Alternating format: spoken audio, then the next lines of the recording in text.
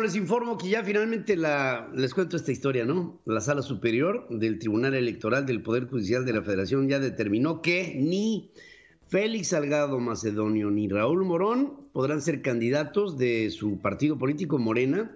a contender por el gobierno, uno de Guerrero, el otro de Michoacán. Ambos estados van a tener para ellos que escoger en Morena a otro candidato, ya que estos no van en el caso de Félix Salgado, la votación fue de seis votos a favor del proyecto de Indalfer Infante, que hablaba justamente de que no procedía, no procedía esta manera de presentarse en una candidatura cuando no se habían dado los pormenores de los gastos de campaña y por lo mismo el Instituto Nacional Electoral no podía darle seguimiento a través de estos reportes de lo que es una candidatura porque el control que debe de haber en el Instituto Nacional Electoral debe ser puntual justamente sobre el desempeño de los candidatos y sus manejos económicos. El magistrado presidente, mientras tanto, José Luis Vargas, que es el presidente del Tribunal Superior de, Justicia a nivel electoral, eh, y la magistrada Mónica Aralí, estimaron que Salgado Macedonio no debía haber sido bajado de la contienda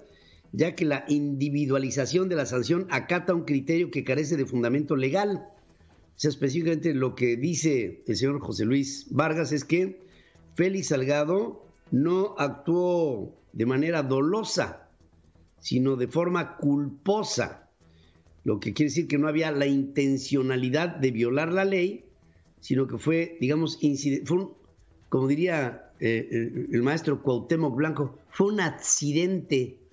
y, entonces al haberlo sido, no tendrían por qué haberle conculcado sus derechos de votar y ser votado. La votación para el caso de Raúl Morón, el que hubiera sido candidato por Morena al gobierno de Michoacán, fue cinco sufragios en contra y dos a favor del proyecto de la magistrada Mónica Soto, que reconocía la falta cometida, pero daba la posibilidad de modificar la sanción en contra del aspirante, lo que en contra hace que Raúl Morón tampoco hubiera pasado. Al anunciar su voto, la magistrada Janine Otálora reiteró que debe de sancionarse la omisión de la entrega de gastos de campaña, porque esto, lo que les decía, imposibilita la facultad del Instituto Nacional Electoral para darle seguimiento a los candidatos a través de sus gastos, y hablaba.